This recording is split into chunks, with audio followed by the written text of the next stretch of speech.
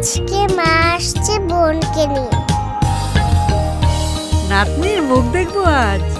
আজ বাগানে অনেক ফুল ফুটেছে। আজ যে আমাদের আরেক নাতনি আসছে।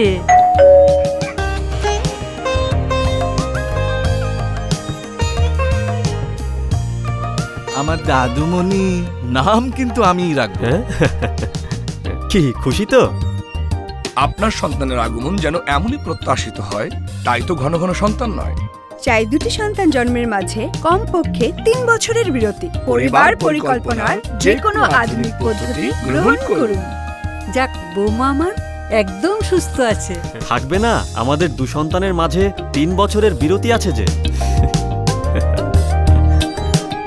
জীবন স্বপ্নময় অনেক যত্নে করতে হয়।